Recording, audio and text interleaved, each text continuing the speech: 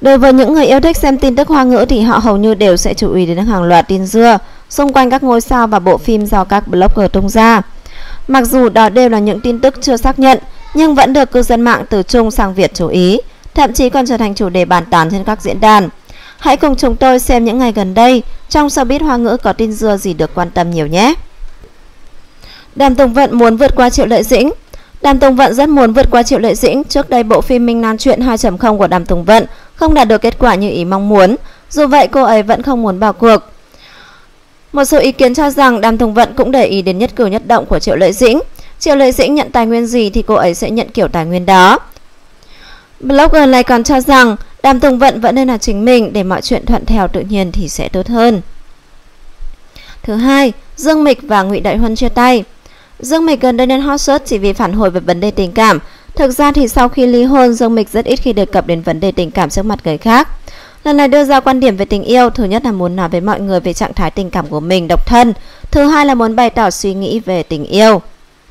Có thể nói tình cảm của Dương Mịch và Ngụy Đại Huân là kiểu tan tan hợp hợp, năm ngoái họ vẫn còn sống chung, thậm chí Ngụy Đại Huân còn có ý định kết hôn, nhưng trong tình trạng này thì Dương Mịch không muốn kết hôn. Ngụy Đại Huân cũng không vì yêu Dương Mịch mà bỏ đi việc sinh con nối dõi. Cả hai người họ xảy ra mâu thuẫn lớn về những kế hoạch trong tương lai, sau đó thì chia tay. Ngô Tuân Nghi lấy hết tài nguyên của Trịnh Sảng. Việc Ngô Tuân Nghi đi theo con đường của Trịnh Sảng khiến cư dân mạng thấy khó hiểu, cảm giác việc này sẽ gây ảnh hưởng đến duyên với người qua đường. Nhưng thực tế thì chiến lược quảng bá này lại mang nhiều lợi ích đến cho Ngô Tuân Nghi.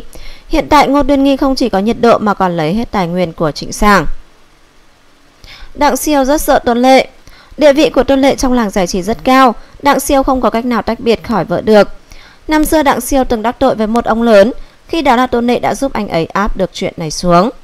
Hiện tại những tai mắt bên cạnh Đặng Siêu đều là do Tôn Nệ sắp xếp, anh ấy cũng không dám làm loạn, nguyên nhân chủ yếu đến từ việc trước đây bị vợ bắt quả tang tại trận, còn nhận phải một trận đòn rất thê thảm. Mối quan hệ giữa Dương Tử và Hoàng Tử Thao Mối quan hệ giữa họ rất bình thường, lúc riêng tư cũng không có gì liên lạc gì cả. Việc Dương Tử và Hoàng Tử Thao tương tác chỉ là hiệu ứng của chương trình, mối quan hệ của hai người không tốt như trước ống kính. Cảm ơn cả nhà đã lắng nghe video của Pvlog. Cả nhà đừng quên nhấn like và đăng ký kênh để nhận được những thông tin mới và hot nhất. Xin chào và hẹn gặp lại.